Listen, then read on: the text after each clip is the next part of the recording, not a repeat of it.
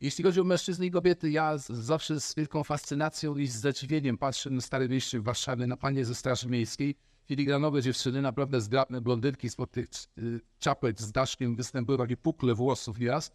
Idzie taka zgrabna dziewczyna w tym mundurze Straży Miejskiej i ma półmetrową pałkę przy u boku. A z drugiej strony jakiś, jakiś gaz.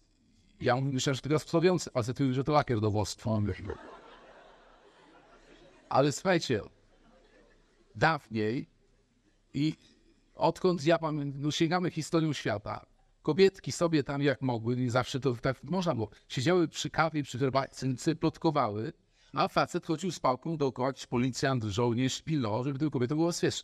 Teraz na rynku Starego Miasta Warszawy widać coś odwrotnego. Faceci siedzą, piją żywca, a dookoła chodzą panie z pałkami i pilnują, żeby tym facetom nic się nie stało.